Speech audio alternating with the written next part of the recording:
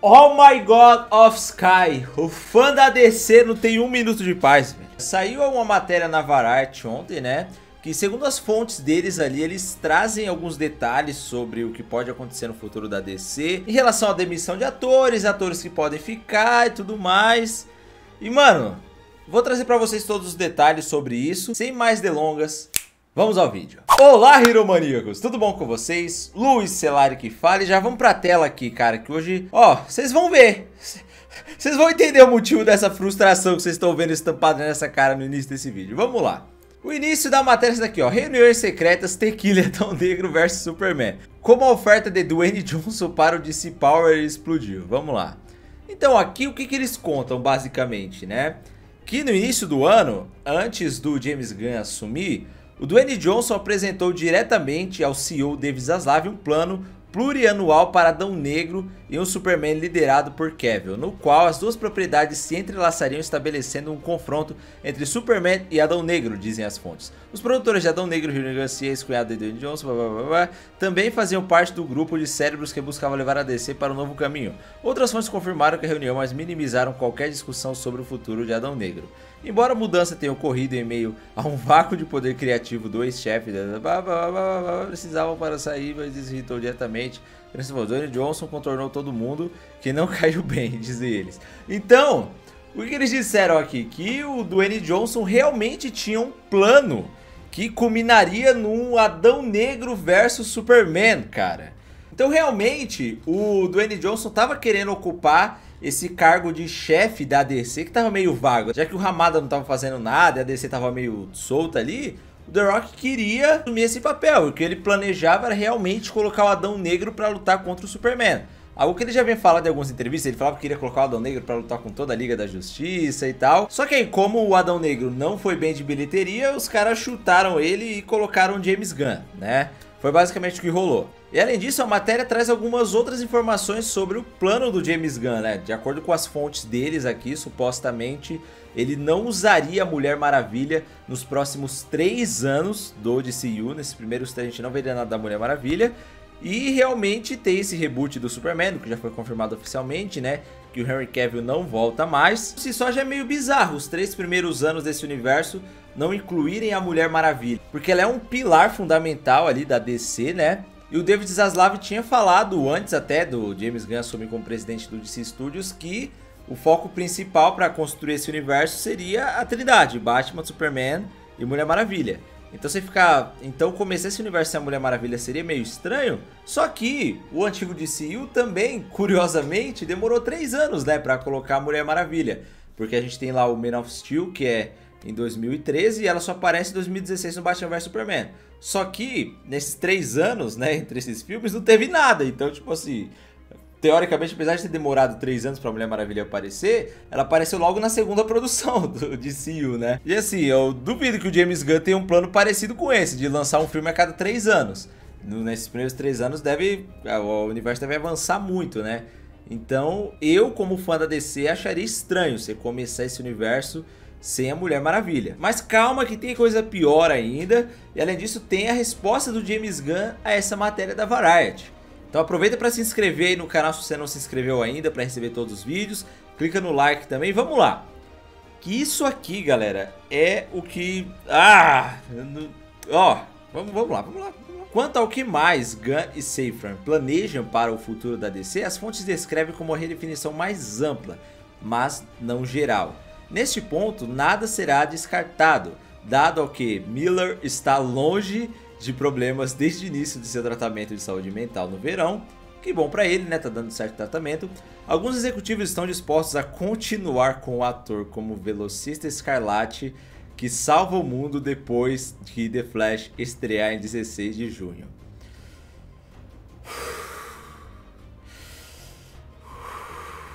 Aquaman, Shazam, Besouro Azul e a série do Pacificador de Gunn para HBO Max poderiam ter um lugar na mesa.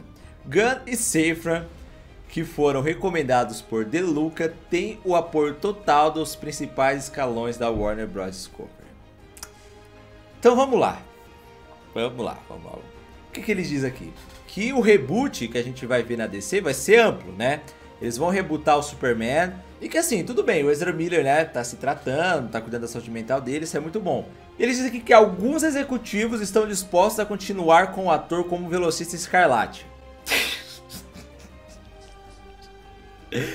né, talvez, pô, o Ezra Miller tem um talento, assim, gigantesco que dê para ele a possibilidade de fazer qualquer coisa e não perder o emprego. Eu não, eu não vi esse talento, eu, eu não entendo, né? Enfim, vou dar minha opinião de fora aqui, como fã que assiste as coisas, né? Pô, o Henry Cavill, que pô, não dá problema nenhum, pelo que a gente vê.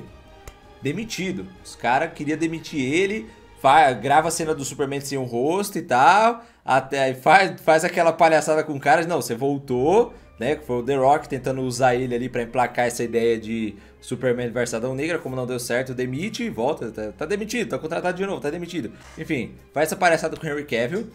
Aí o Ezra Miller, pô, o cara comete alguns crimes, né? Ah, vai preso, pá. E aí os executivos pegam, ah, vem cá, Ezra, ó. Imagina a reunião, pega. Olha que bonito, Ezra Miller, né? Ah, ele cometeu alguns crimes, né? Mas, mas tudo bem. Ó, ele, ele tá se tratando, ele tá se cuidando, ó. Ele tá dois meses sem ser preso, gente. Desgraça. Ah, meu Deus! Gente, qual que é o grande problema que eu vejo nisso? De executivos considerando o Ezra Miller ficar. O problema não é nem o Ezra Miller em si, tá ligado? O que mais me preocupa em tudo isso é que esse é o velho problema que vem atrapalhando a Warner desde que esse DCU começou, que é os executivos interferindo no plano do cara que tem a visão criativa ali. Porque vamos lá, eles contrataram James Gunn e Peter Safran para serem os chefes do DCU, para ser o cara que manda e desmanda, né? Então tá, se trocar o Superman, né, tirar o Henry Cavill, tirar esses atores do universo DC e rebutar tudo, foi uma ideia que veio da cabeça do James Gunn, tendo esta criatividade, beleza. Aí vamos lá, vem o executivo, que tá acima do James Gunn e fala, ó, você tem que trocar o Henry Cavill porque eu quero, não é por causa da sua visão criativa, eu sou executivo, eu quero. E o Ezra Miller, que por algum motivo, não sei se ele tem costas quentes lá, se a mãe dele é uma das executivas da Warner, enfim. O Ezra Miller, que tá empatando o filme do Flash desde 2014, foi anunciado faz nove anos esse filme, e deu um monte de problema, o filme não saiu causa diversos problemas com relações públicas para a empresa e tudo mais. Não pode sair por razões de politicagem da empresa. Tem alguém aqui que é muito grande na empresa que não quer que o Ezra Miller saia, então dá seu jeito, rebuta o universo, mas esse tem que ficar, esse tem que sair. Então já são os executivos de novo interferindo nos planos da visão criativa. Então, você tira de novo a liberdade do cara que é a mente criativa de construir esse universo, tá ligado? Se isso que a Vararte relatou aqui realmente estiver acontecendo, cara, isso diminui muito as minhas expectativas para ver o que vai rolar nesse universo. Não é só porque eu, como fã da DC, gostaria de ver um outro ator como Flash, por conta de tudo o que o Ezra Miller fez. Porque como ator assim, cara, pode ser que ele realmente surpreenda no filme do Flash, entregue uma atuação legal do Barry Allen que a gente queira ver no futuro e tal. Mas aí o Henry Cavill também fez ali uma cena pós-crédito do Superman que eu gostaria de ver mais dele no futuro. E aí tiraram ele. E aí?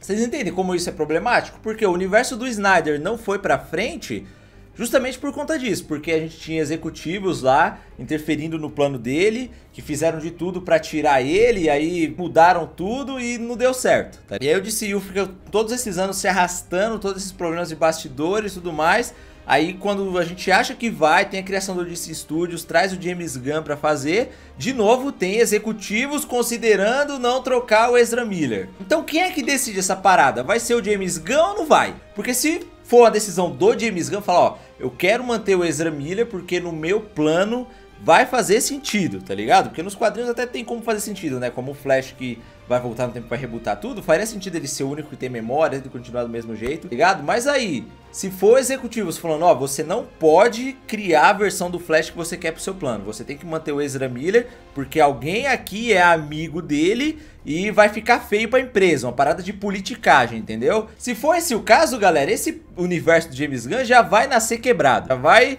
nascer errado, sacou? Porque a gente fica com esse sentimento de injustiça, né? Pelo menos pelo que a gente tá vendo, a gente não sabe como que eram os bastidores lá.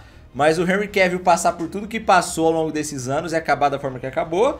E o Ezra Miller continuar lá de boa, depois de tudo que fez. E continuar de boa não é por escolha do cara que criou tudo, não. É continuar de boa porque o cara tem costas quentes com executivos lá, velho. E aí eu fiquei esperando pra ver se o James Gunn ia se pronunciar sobre isso, né? Pra ver se ele ia responder os rumores, ele tá respondendo tudo mais. E aí a gente teve um cara perguntando aqui, ó. Você pode discutir o relatório da Varart em relação a Ezra Miller e a noção de que sua lista é apenas de 3 anos de projetos? E aí, olha o que ele falou, ó. Não sei o que há por aí sobre Ezra, mas nossa lista é de 8 a 10 anos, mas só anunciaremos parte esse mês.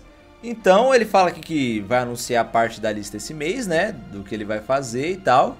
E aí por parte da Mulher Maravilha também veio uma página e perguntou e falou sobre isso, né? Disse é, que a Mulher Maravilha não ia aparecer nos primeiros 3 anos, ó.